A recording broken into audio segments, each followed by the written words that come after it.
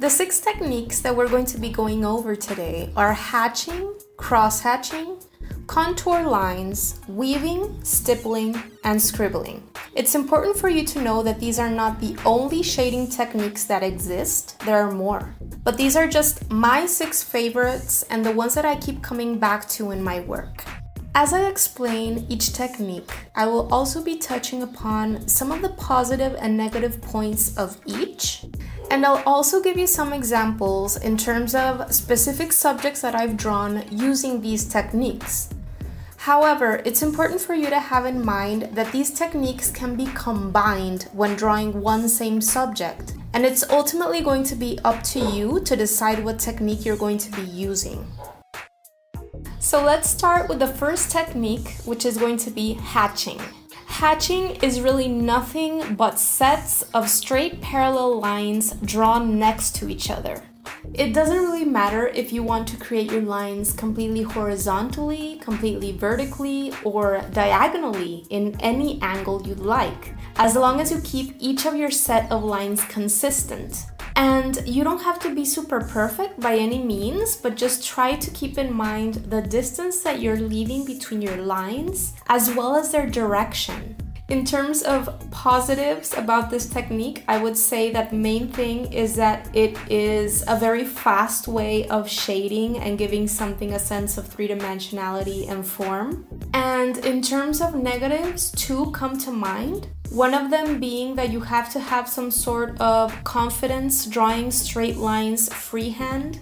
And the second thing is that this shading technique might or may not be the adequate one for you to use when you're trying to shade something more organically shaped or with a lot of curves in it, like the human form. It can definitely be done, and it's all going to depend on the effect that you're going for. But due to the straight lines, sometimes this technique tends to create very flat planes.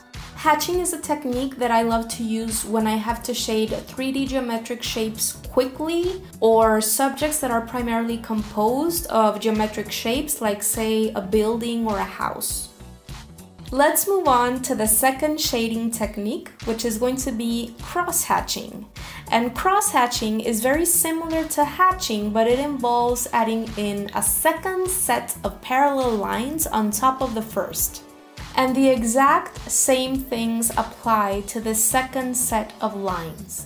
It doesn't really matter what direction you choose to draw them in, but once you've started, you have to make sure that there is a certain consistency and uniformity between your lines in terms of the distance that you leave between them and their overall direction.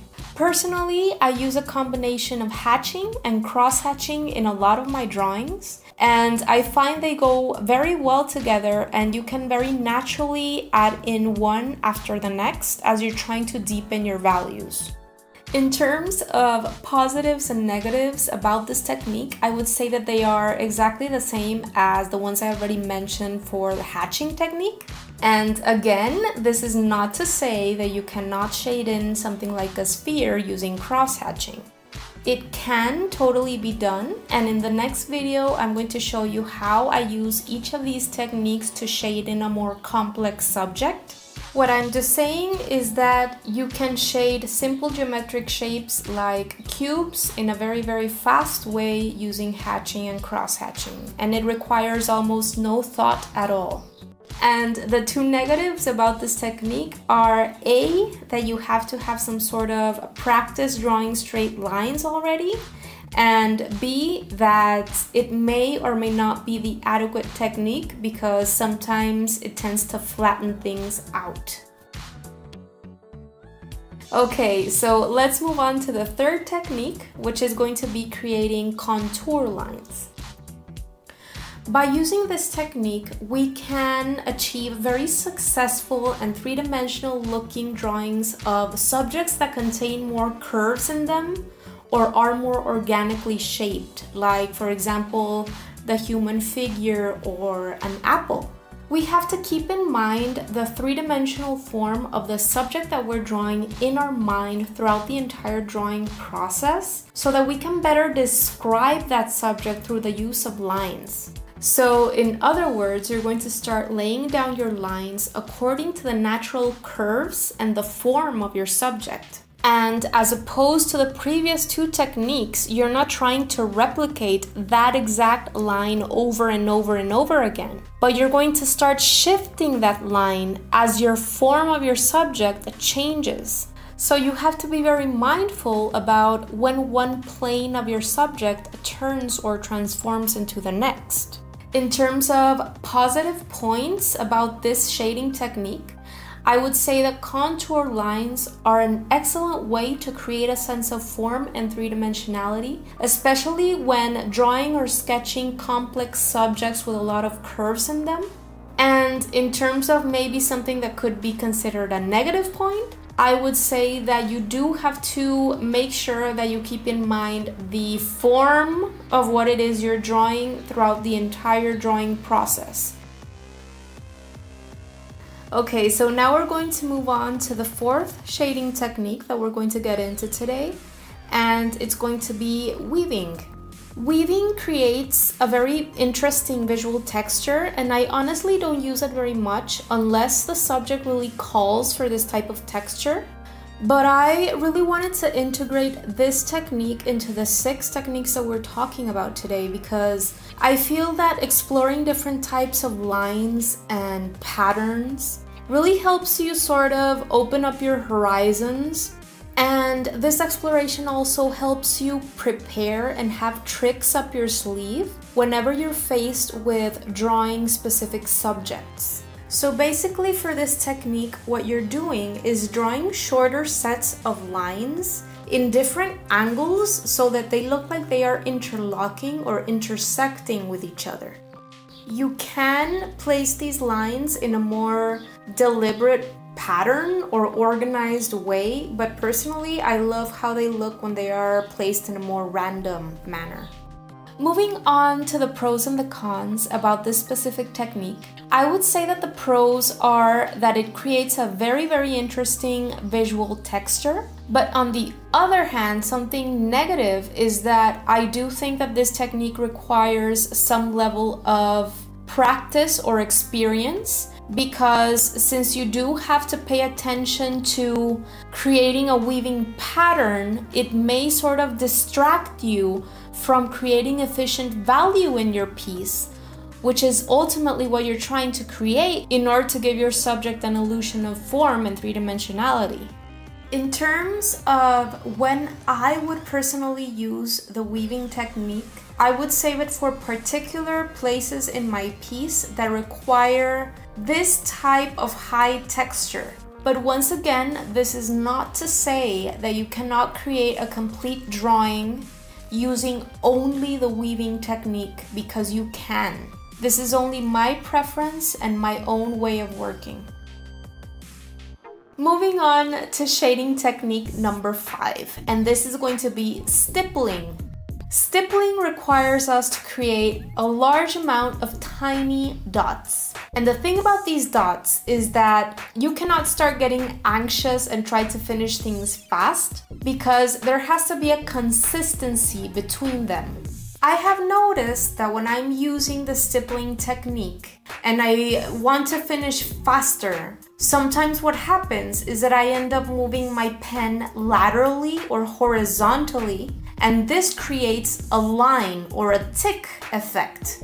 And the thing is that when you start creating those tiny short lines, there isn't a consistency anymore because you're you're creating dots, you're not creating lines. So the consistency is broken. In terms of the pros and the cons about the stippling technique, I would say that something I love about it is that it lends itself perfectly to create any kind of subject, any kind of drawing, whether it's something more geometric or something more organically shaped. And I would say another pro about this technique is that you have a lot of control with it just because the marks that you are making are so small and they kind of force you to take your time. On the other hand, something negative about this technique is obviously the amount of time that it entails to create a finalized piece with it. The sixth and final technique that I'm going to be mentioning today is the scribbling technique. And I actually use quite a bit of scribbling whenever I am drawing settings indoor settings or the outsides of houses or landscapes or anywhere in which plants are present. Scribbling allows you to very easily create the visual sensation of plants, flowers, or trees. And to successfully create a scribbling effect, I really recommend practicing relaxing your hand and varying the amount of pressure that you set upon your paper. Try not to think of any particular pattern or shape. Just let your hand go and allow it to form short lines. They don't all have to be the same length, but have them go in different directions, creating different loops, overlapping. Just let your hand move in whichever way it feels like going in.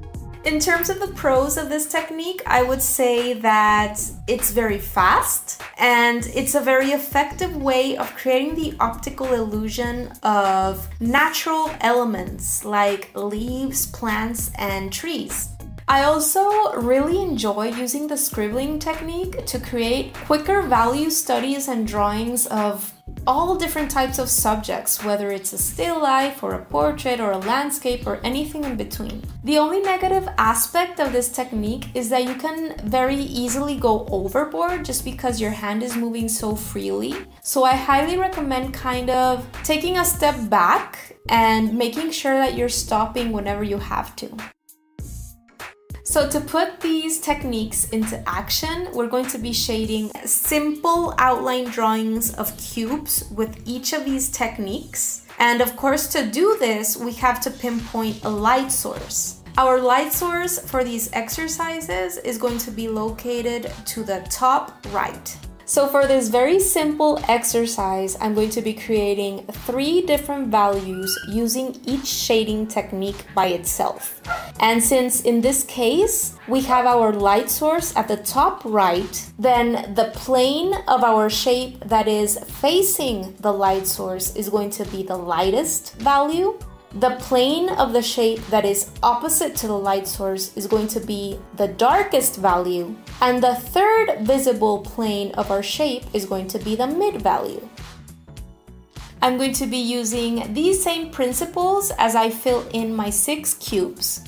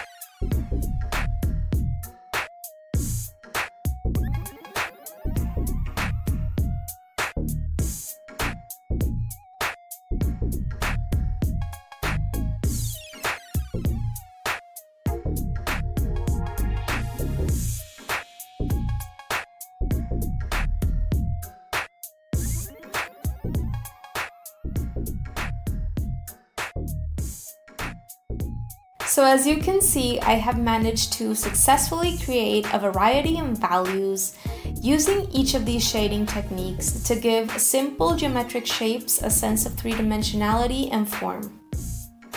And the commonality or the thing that links these techniques together is that basically the closer you set your marks together or the less visible area of paper you have amongst your marks, the darker it's going to be. And the more amount of white space or paper you have between your marks, the lighter your value is going to be.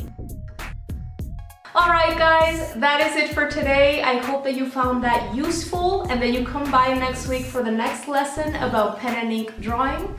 Let me know in the comment section below which shading technique you like best. Also let me know what you find hardest about drawing with pen and ink so that I can touch on that subject in a following video. So don't forget to like and subscribe. I really appreciate you being here and checking out my channel and see you next Friday.